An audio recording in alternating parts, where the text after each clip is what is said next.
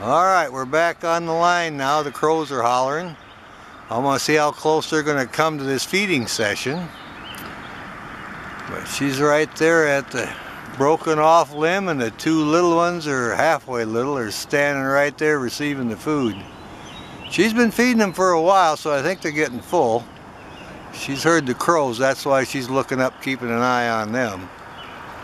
There they go, they're going for it now. Yep. One day we were filming them and the female was in the nest and the male brought the food and he wanted to feed the youngsters but she didn't want him to. She wanted him to give her the food so she could and had a big food fight in there. Then finally he relented and gave her the food and hopped up on the limb. So they're very protective and they both enjoy feeding and caring for the young. So they actually got into a food fight over that. Yeah, you can just type in on YouTube bald eagle food fight and see that if you like. That'll work out.